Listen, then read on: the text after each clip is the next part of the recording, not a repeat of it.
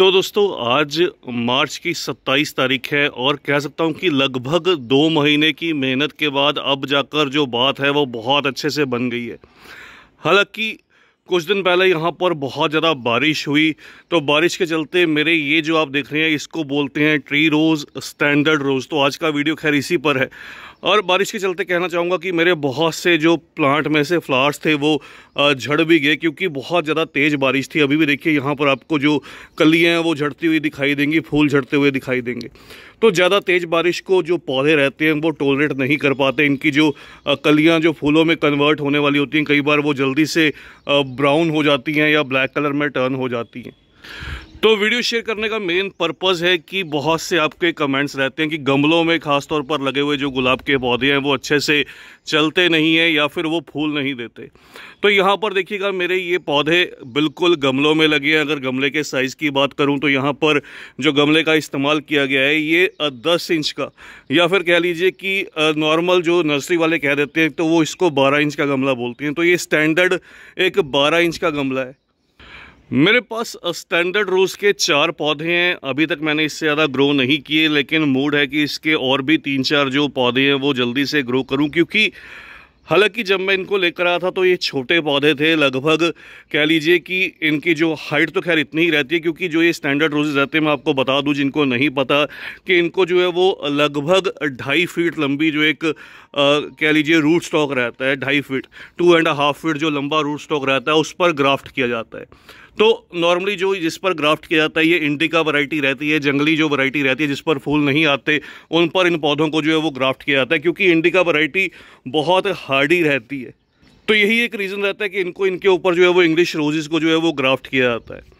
तो यहाँ पर मेरे पास इसकी जो आपको शो कर रहा हूँ, ये दो वैरायटीज़ हैं, एक का मुझे नाम नहीं पता पूरी तरह से, लेकिन दूसरे का जो नाम है वो करिश्मा रोज़ है। तो ये करिश्मा रोज़ की वैरायटी है, इस तरह से क्या होता है थोड़ा थोड़ा ये कलर जो है वो चेंज करती है।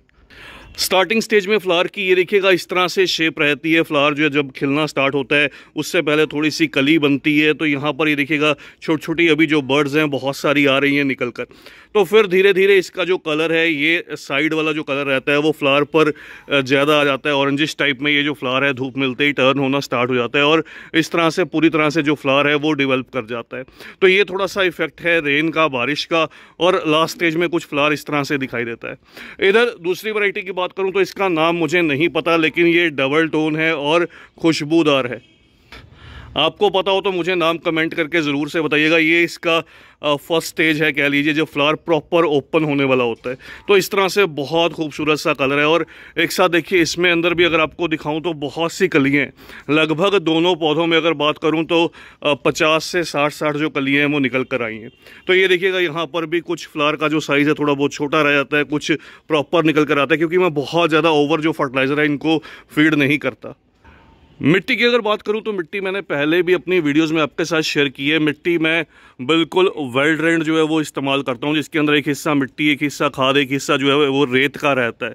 तो मिट्टी के अंदर ही पौधे लगाता हूँ, साथ के साथ थोड़ी सी डीएपी और बोन मिल ये चीज़ें इसके अंदर जो है वो ऐड कर देता हूँ। कभी कभार नीम की खली भी ऐड कर देता हूँ। उससे क्या होता है फंगस वगैरह ज़्यादा नहीं लगता।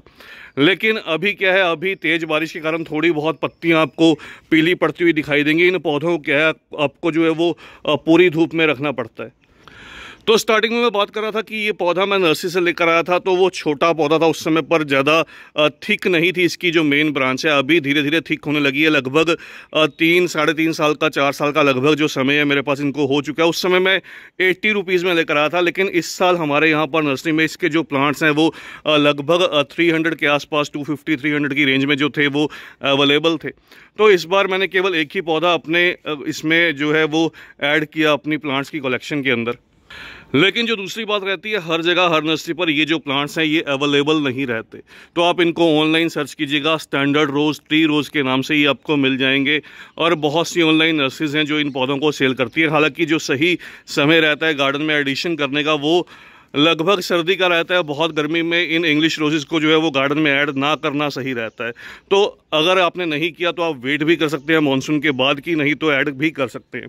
उसके अलावा ये देखिएगा, अभी मैंने यहाँ पर नहीं रखे, हालाँकि दूसरे भी सभी अगर आपको गुलाब के पौधे दिखाऊँ, जो दूसरे मेरे गुलाब के पौधे हैं, बहुत अच्छे से खिल रहे हैं, बहुत बढ़िया से जो फ्लारिंग है वो भी कर रहे हैं, सभी पौधों में बहुत सारे जो फ्लावर्स हैं, बहुत सी कलियाँ जो है वो कंटिन्यू निकलती जा रही हैं। तो यहाँ पर भी देखिएगा, बहुत सारी कलियाँ धीरे धीरे निकल कर आ रही हैं, बहुत से डिफरेंट डिफरेंट वराइटीज़ हैं मेरे पास, सभी की सभी पूरी धूप में रहती हैं, अच्छे से चलती रहती हैं। और सारी की सारी अगर बात करूँ तो इस तरह से गमलों में लगी वराइटीज़ हैं, सारी की सारी लगभग दस से बारह इंच के गमलों में। और ये वाला मेरा तीसरा पौधा है स्टैंडर्ड रोज़ का, इसके ऊपर भी यहाँ पर देखिएगा, बहुत सी जो कलियाँ हैं वो बनने लगी हैं।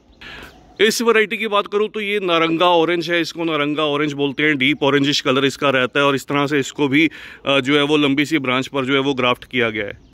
और जो चौथा पौधा है इसको मैंने इस साल ही ऐड किया था। ये अभी लगभग दो तीन महीने पहले ग्रो किया गया है। ये भी नारंगा ऑरेंज का ही पौधा है। नार, नारंगा ऑरेंज नहीं ये करिश्मा रोज़ का। तो ये करिश्मा रोज़ ही है। इसके अंदर भी देखिए बहुत सी कलियाँ कुछ दिन पहले खिली थी जब मैंने आपके साथ वीडियो शेयर की थी। लेकिन अब धीरे धीरे जो कलियाँ हैं वो स्पेंट हो चुकी हैं और पौधे ने अपनी जो नई ग्रोथ है वो करना स्टार्ट कर दी है। तो यहाँ से मैंने सारी की सारी जो बर्ड्स थी वो रिमूव कर दी थी जैसे अभी अभी ये वाली कर दी और फिर नई ग्रोथ जो है वो भर कर आएगी। धीरे धीरे ये भी पौधा जैसे जैसे मेच्योर होगा ये एक पेड़ की जो लुक है वो डेवलप करेगा। और जाने से पहले कहना चाहूँगा, अभी जैसे गर्मी का मौसम है तो आपको इनको जो है वो थोड़ी सी प्रिकॉशन देनी होगी, थोड़ा इंसेक्टिसाइड और फंकीसाइड के जो रेगुलर स्प्रे है मतलब वीकली या दस दिन में, पंद्रह दिन में जैसे पौधे की ग्रोथ रहे, उस हिसाब से जो है वो आपको करना होगा। उससे क्या होगा, ये पौधे अच्छे से चलते रहेंगे और ढेरों जो फूल है वो देते रहेंगे थोड़ा सा गर्मी में इसको सेमी शेड में भी रख सकते हैं और चाहे तो ग्रीन नेट के नीचे भी। बाकी कंप्लीट वीडियो के लिए मैं वीडियो का जो लिंक है, वो डिस्क्रिप्शन में दे दूँगा, किस तरह से इन पौधों को लगाया जाता है, किस तरह से इनकी जो देखभाल है, वो की जाती है। तो बस दोस्तों, ये आज की इस वीडियो में इतना ही। जल्द ही मिलते हैं किसी और नए टॉपिक के साथ, किसी और नई वीडियो के साथ। तब तक के लिए bye heavy gardening take care